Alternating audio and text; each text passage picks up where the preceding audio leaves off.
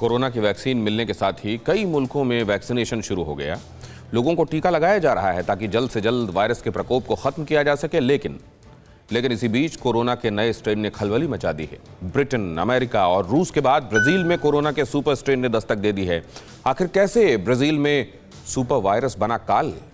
ये report. Covid 19 महामारी से जूझ रहे ब्राज़ील में कोरोना वायरस का बेहद जानलेवा स्वरूप सामने आ गया, जिसके बाद से पूरे ब्राज़ील में हड़कंप है। सबसे ज़्यादा हैरान करने वाली बात यह है कि कोरोना का जो नया स्ट्रेन ब्राज़ील में मिला है वो पहले से ज़्यादा घातक और मारक है। और ये सुपर कोविड वायरस धीरे धीरे पूरे ब्राज़ील को अपनी चपेट में ले रहा है। लैटिन अमेरिकी मुल्क ब्राज़ील से सन्न कर देने वाली तस्वीरें भी सामने आई थीं, जिसमें घरों के भीतर लोगों की लाशें पड़ी हुई दिखाई दी। अमेरिका की तरह ब्राज़ील में कोरोना संकट चरम पर था और जिस तरह नया स्ट्रेन अब कहर बर पा रहा है उसे देखकर पूरा ब्राज़ील दहशत में है और पुरानी तस्वीरें याद कर खौफ और बढ़ जाता है।